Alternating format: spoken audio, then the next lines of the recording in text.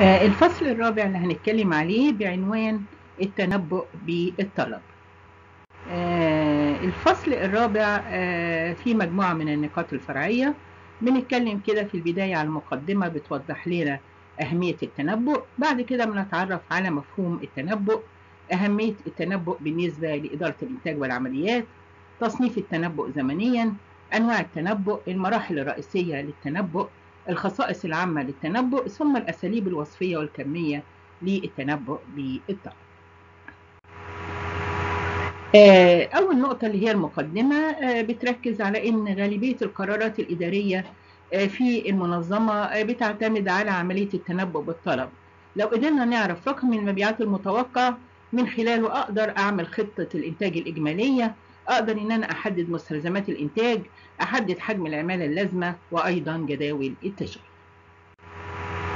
النقطة الثانية بتركز على ما هو التنبؤ.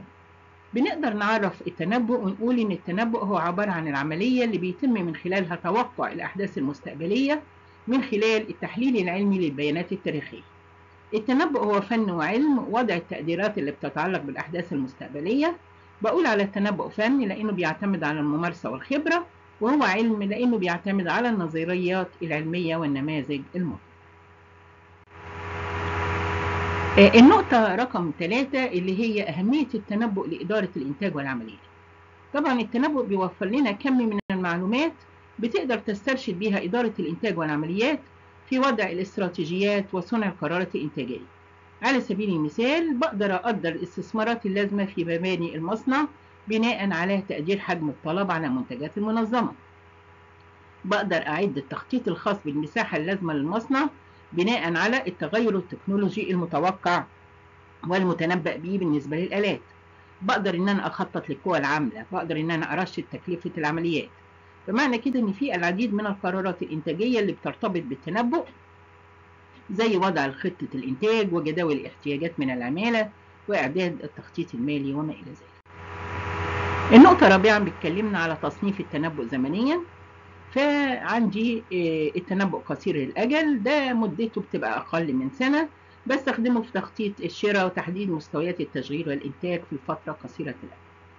التنبؤ متوسط الأجل ده مدته من سنة لأقل من ثلاث سنوات. ممكن تستخدمه المنظمة في تخطيط الإنتاج أو المبيعات أو المخزون أما النوع الثالث هو التنبؤ طويل الأجل. ده مدته ممكن تكون أكثر من ثلاث سنوات. فبيفيد في اختيار موقع المصنع أو التوسعات المستقبلية. النقطة الخامسة بيتكلمنا على أنواع التنبؤ. عندنا التنبؤات الاقتصادية اللي بتتعامل مع معدلات التضخم ومستويات الأسعار.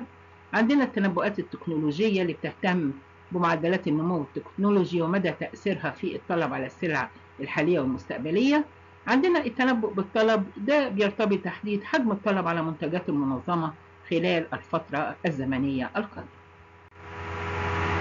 النقطة سادسا بتركز على المراحل الرئيسية للتنبؤ فعندي مجموعة من المراحل بتبدأ بتحديد الهدف من التنبؤ وتحديد المدى الزمني للتنبؤ واختيار طريقة التنبؤ المناسبة ثم جمع وتصنيف وتحليل المعلومات اللازمة للتنبؤ ووضع الافتراضات المتعلقة بالتنبؤ. النقطة السابعة بتكلمنا على الخصائص العامة للتنبؤ أول خاصية بتقول افتراض أن ما حدث في الماضي سوف يحدث في المستقبل. لو كانت هناك تغيرات فإنه يمكن رصدها وهي طفيفة ويمكن حسابها النقطة الثانية أن التنبؤ لا يكون تمثيل مطابق للواقع تماما ولكن في اختلاف ما بين الواقع وما بين التنبؤ الاختلاف ده بنسميه خطأ التنبؤ. وطبعا النقطة الثالثة بتركز على أن التنبؤ لعدة أنواع من الأصناف أدق من التنبؤ لكل نوع على حدة والنقطة الرابعة بتركز على إن في علاقة عكسية ما بين دقة التنبؤ والفترة اللي بيتم التنبؤ بيها. كلما زادت فترة التنبؤ كلما قلت الدقة وكلما قلت فترة التنبؤ كلما زادت الدقة. طرق التنبؤ عموما بنقسمها لنوعين من الطرق. الطرق الوصفية اللي هي متمثلة في تقديرات الإدارة العليا وتقديرات رجال البيع ودراسة السوق وطريقة دلفي ودورة حياة المنتج والطرق الكمية بتتمثل في المتوسطات المتحركة والتمهيد الأسي والاتجاه العام وتحليل الانحدار. لو اتكلمنا عن أهم الطرق الوصفية اللي بتستخدم في التنبؤ الطريقة الأولى هي تقديرات الإدارة العليا أو بنطلق عليها آراء الخبراء والمديرين.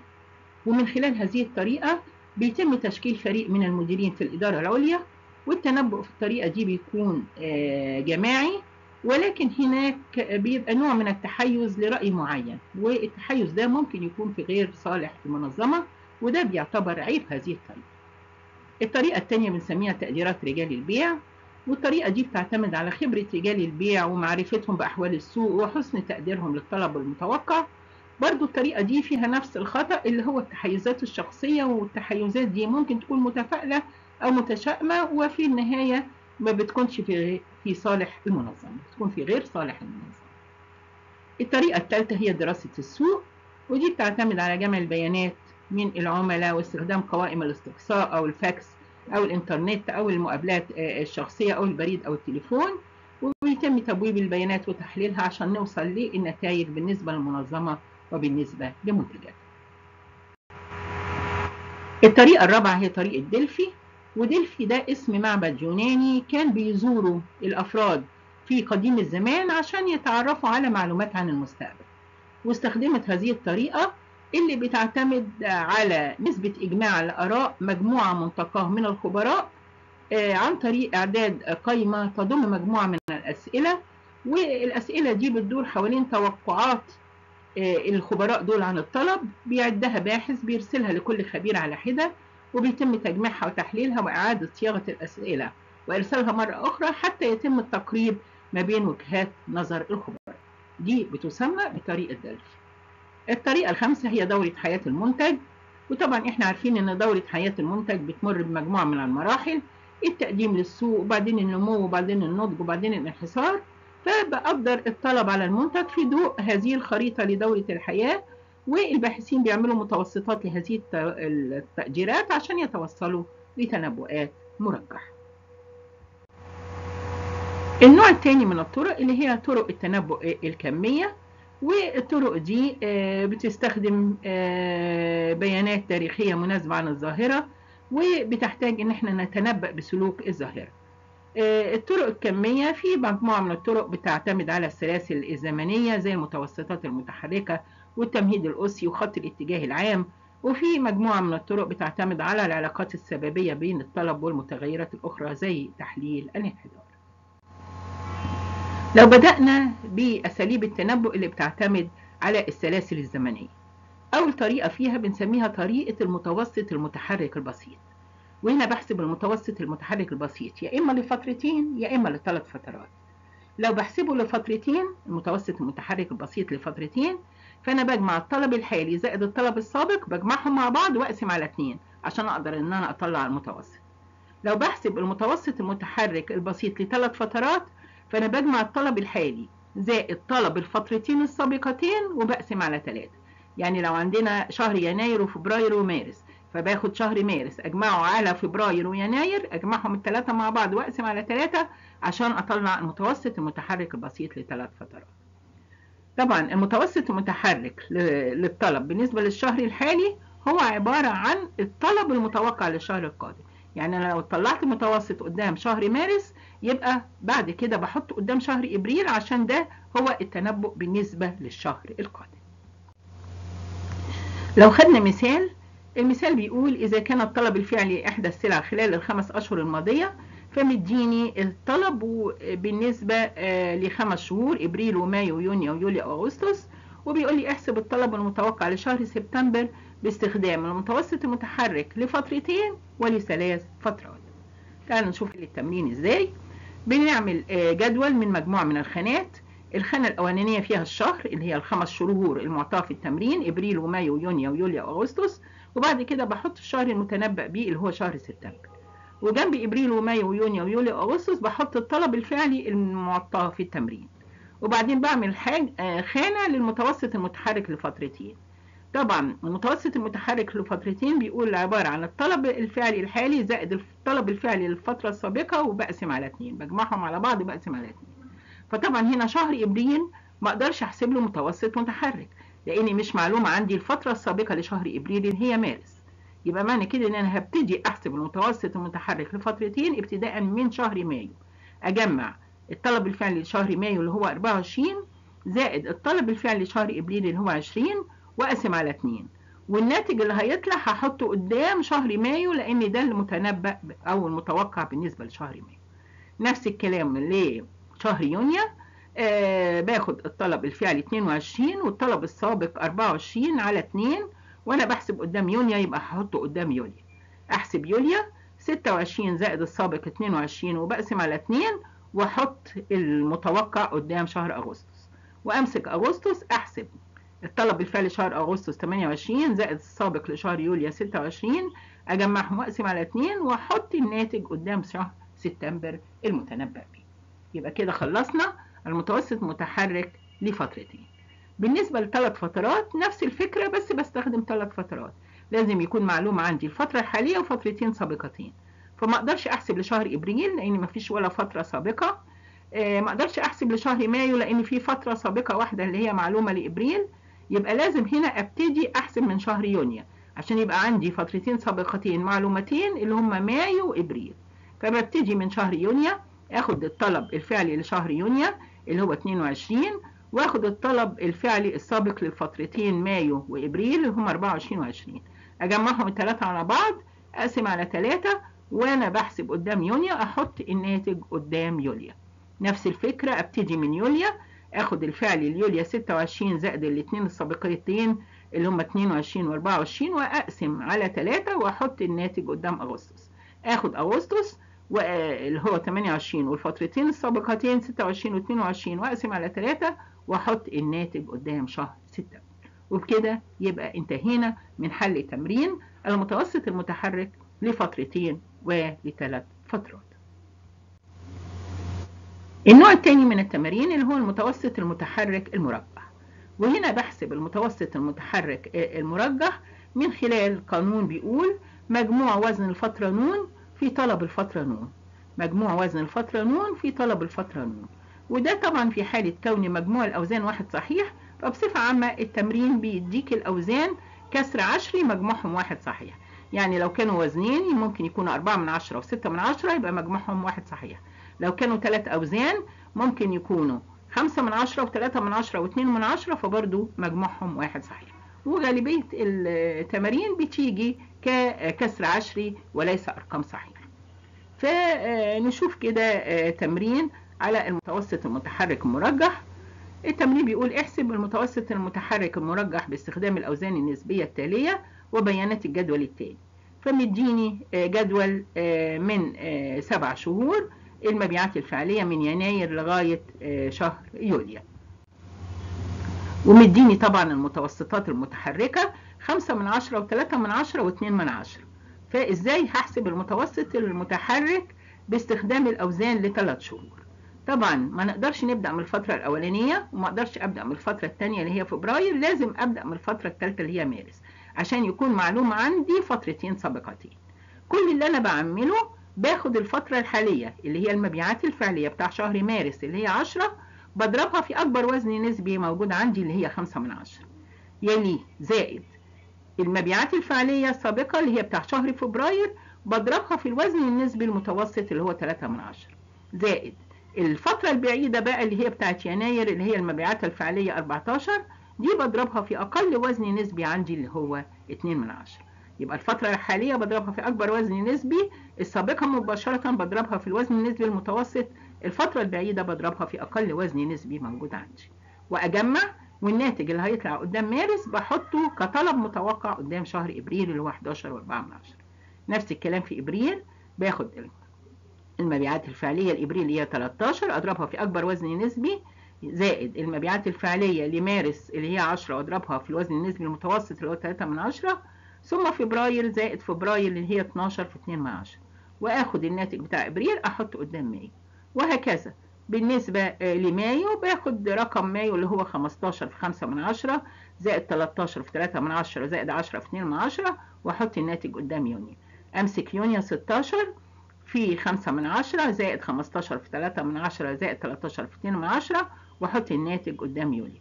وآخد آخر شهر يوليو المبيعات الفعلية بتاعته 18 أضربها في أكبر وزن نسبي 5 من 10 زائد اللي قبليه الشهر اللي قبليه يونيو 16 في 3 من 10 زائد مايو 15 في 2 من 10 واحط الناتج قدام شهر أغسطس.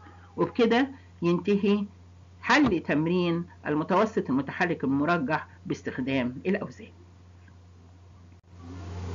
الطريقة الثالثة من التمارين هو التمهيد الأسي البسيط. في طريقة التمهيد الأسي البسيط بتعتمد على أن بفترض أن الطلب المتوقع للفترة القادمة بيساوي الطلب الفعلي الحالي بعد تعديله بنسبة معينة بسميها ألفا. وألفا هنا بتتراوح من بين الصفر والواحد الصحيح وعشان أحل تمرين باستخدام معادلة التمهيد الأسي عندنا معادلتين ممكن استخدمهم في الحل. ممكن نختار المعادلة الأولانية أو المعادلة الثانية. لو استخدمت معادلتين عشان نتأكد. لو المعادلة الأولانية ادتني رقم معين وحليت بالمعادلة الثانية ادتني نفس الرقم فهنا بتأكد إن التمرين بتاعي تمرين صحيح. معادلة التمهيد الأسي الأولى بتقول إن التنبؤ لفترة قادمة بيساوي تنبؤ الفترة الحالية زائد. بنفتح قوس معامل التمهيد الأسي مضروب في الطلب الفعلي الحالي ناقص تنبؤ الفترة الحالية. والمعادلة الثانية بتقول إن التنبؤ للفترة القادمة بيساوي الطلب الفعلي للفترة الحالية مضروب في معامل التمهيد زائد تنبؤ الفترة الحالية مضروب في مكمل معامل التمهيد. طبعا معامل التمهيد بيدوني في التمرين لكن المكمل لا يعطى. المكمل ده أحسبه إزاي؟ في قاعدة بتقول إن معامل التمهيد زائد مكمله بيساوي واحد صحيح. فلو معامل التمهيد أربعة من عشرة يبقى المكمل ستة من عشرة. لو معامل التمهيد تلاتة من عشرة يبقى المكمل سبعة من عشرة عشان مجموعهم هما الاتنين. واحد. صحيح. هناخد مثال. بيقول لك احسب الطلب المتوقع لشهر أغسطس. إذا علمت إن معامل التمهيد الأسي 4 من 10 يبقى هنا المكمل أهو هيبقى 6 من 10 وإن التنبؤ الحالي لشهر يوليو 15 واحد من 10 والطلب الفعلي لشهر يوليو هو عبارة عن 18 فهنستخدم المعاملة الأولانية التنبؤ لشهر أغسطس. اللي هو بيساوي التنبؤ الحالي اللي هو 15 واحد من 10 زائد. بنفتح قوس بنضرب في بنحط معامل التمهيد 4 من 10 وبنفتح قوس نضرب في الطلب الفعلي لشهر يوليو اللي هو 18 ناقص التنبؤ اللي هو 15 واحد من 10 هيطلع لك الناتج 16 و26 من 100 ده التنبؤ اللي مطلوب في التمرين اللي هو عبارة عن الطلب المتوقع لشهر أغسطس. لو أنا عايزة أتأكد إن الطلب المتوقع لشهر أغسطس اللي هو 16 و26 من 100 ده رقمي حليته بطريقة صحيحة ممكن أعوض في المعادلة الثانية المعادلة الثانية بتقول الطلب الفعلي في معامل التمهيد زائد الطلب المتوقع في مكمل معامل التمهيد. لو طلعنا الناتج هيطلع 16 و26 من 100 اللي هو نفس الرقم في المعادلة الأولى يبقى هنا الحل بتاعي حل سليم الطريقة الرابعة هي بنسميها طريقة خط الاتجاه العام. ودي بستخدم فيها المعادلة الرياضية لخط الاتجاه العام اللي هي بنسميها معادلة خط الاتجاه العام ودي بتقول ص بيساوي أ زائد ب س. عشان أحل هذه المعادلة اللي هي ص بيساوي أ زائد ب س عندي معادلتين تاليتين عشان أقدر أطلع من خلالهم قيمة أ وقيمة ب. المعادلتين بيقولوا مجموع ص بيساوي ن أ زائد ب مجموع س ومجموع س ص بيساوي أ مجموع س زائد ب مجموع س تربيع. دول معادلتين ممكن إن أنا أستخدمهم في الحل عشان أطلع قيمة أ وب في معادلة خط الاتجاه.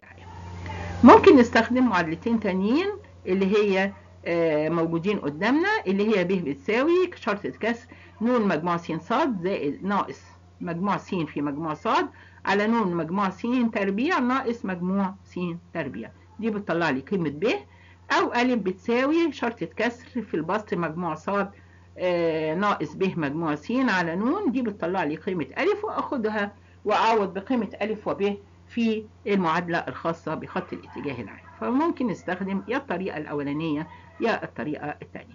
وطبعا بسطر جدول من خمس خانات الخانة الأولى فيها الفترة والخانة الثانية فيها الطلب الفعلي ص والخانة الثالثة فيها الفترات الزمنية س وبعدين بضرب س في ص يطلع لي خانة س ص وبعدين خانة لس تربيع. تعالوا كده نشوف تمرين ونشوف إزاي هنطبق عليه طريقة خط الاتجاه العام. التمرين بيقول يوضح الجدول التالي البيانات الفعلية لمبيعات إحدى السلع لعدة شهور ماضية بالألف جنيه ومديني الشهور من يناير لسبتمبر ومديني المبيعات الفعلية لهذه الشهور وبيقول لي المطلوب تأجيل مبيعات شهر أكتوبر باستخدام طريقة خط الاتجاه العام.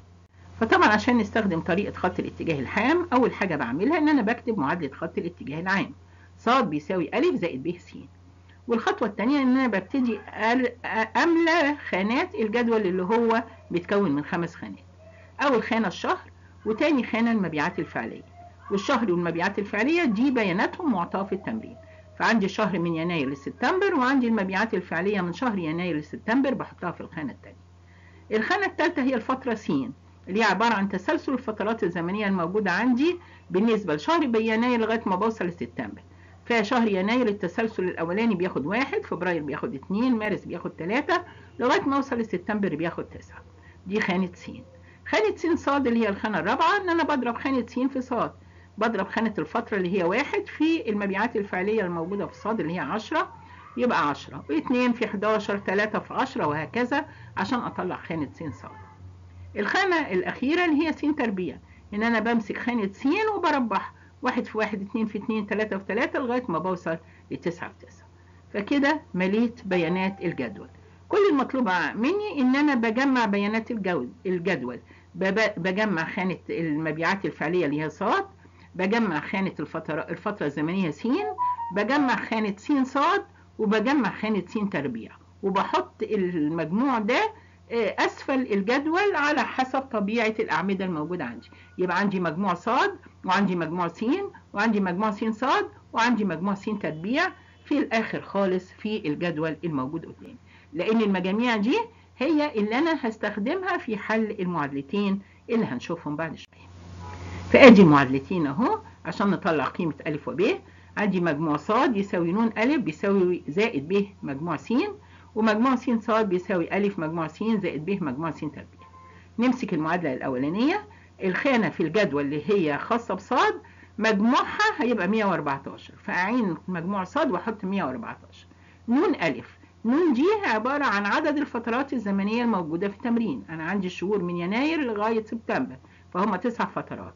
فهنا النون دي هتبقى تسعة يبقى تسعة ألف زائد ب مجموع س لو جمعنا خانة س هنلاقيها 45 وأحط جنبها ب. يبقى كده كونت المعادلة الأولانية 114 بيساوي 9 ألف زائد 45 ب. المعادلة الثانية مجموع س ص بيساوي أ مجموع س زائد ب مجموع س تربيع. فلو جمعنا خانة س ص هيطلع المجموع 618 هيساوي أ مجموع س مجموع س لسه قايلين عليه 45 ألف زائد ب مجموع س تربيع. لو جمعنا خانة س تربيع اللي هي الخانة الأخيرة هتطلع 285 وأحط جنبها ب فأدي المعادلة التانية.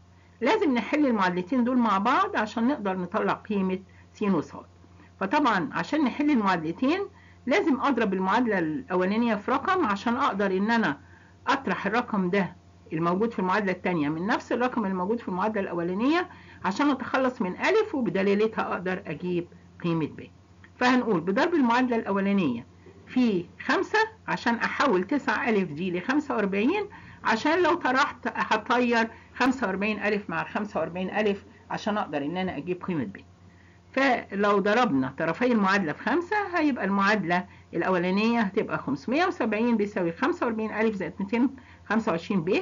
دي المعادلة الثالثة وبعدين أبتدي أطرحهم من بعض. فأطرح المعادلة 3 من المعادلة 2 هيبقى الناتج عندي 48 بيساوي 60 ألف يبقى 60 ب 48 بيساوي 60 ب يبقى ب أقدر أجيبها 48 على 60 هتطلع 8 من 10 ما دام وصلنا لقيمة ب هاخدها وأعوض بيها في المعادلة الأولانية عشان أقدر إن أنا أطلع قيمة أ يبقى لو عوضنا بقيمة ب ب 8 من 10 في المعادلة الأولانية يبقى 114 يساوي 9 ألف زائد 45 أعين ب وأحط 8 من 10 وأبتدي أصفي المعادلة فألف هتطلع 87 على 9 هتطلع قيمة أ 8 و7 من 10 يبقى بقى عندي قيمة ب متوفرة وقيمة أ متوفرة أروح واخداهم هما الاتنين معوضة بيهم في معادلة خط الاتجاه العام. اللي بتقول ص بيساوي أ زائد ب س. فأ ص بيساوي أ أهي ب 8 و7 من 10 زائد ب ب 8 من 10 أمال س دي هي عبارة عن إيه؟ عبارة عن ترتيب الفترة الزمنية لشهر أكتوبر. إحنا وصلنا لسبتمبر في الجدول. وسبتمبر كان ترتيبه 9 شهر 9 يبقى أكتوبر على طول هيبقى شهر 10 يبقى هعين س وأحط الترتيب بتاع الشهر أكتوبر اللي هو 10 وأطلع نتيجة المعادلة يطلع رقم التنبؤ بالطلب عبارة عن 16 و7 من 10 وبكده ينتهي تمرين الخاص بمعادلة خط الاتجاه العام والخاص بالتنبؤ.